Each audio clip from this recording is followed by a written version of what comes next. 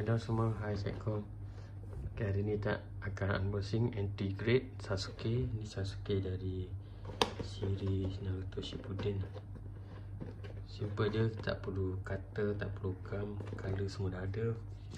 Harga pun sikit je. Tapi kit ni agak mahal jugalah Walaupun dia anti-grade RM60 juga kit ni. Plastik kit Ushihara Sasuke. So kat sini Ada dia punya samping kat kaki tu. Ada stiker.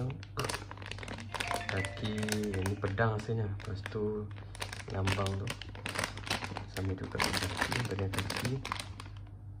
Bagian kaki dia memang dah situ ni ada rambut. Body yang nak tak stiker belakang ni.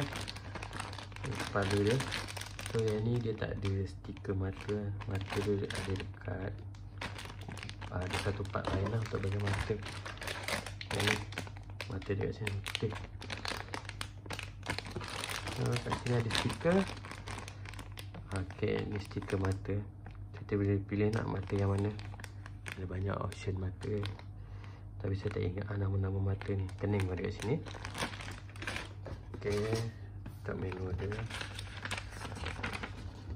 pun simple kat sini kita follow uh, apa manual dekat sini ada bahagian mata kena pilih lah nak ambil yang mata mana. Dan dia tak boleh tukar-tukar lah stiker kan. Boleh terus pasal cabut dia tak lekat dah. So better ambil yang mata yang paling power lah. First confirm mata ni kena ambil lah. Tapi saya tak ingat lah nama dia.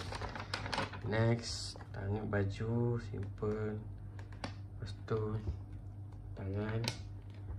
Kaki pun memang simple lah entry gate biasa entry gate 30 20 30 ringgit macam tu kan. Ni 60 ringgit so macam HG juga lah harga dia.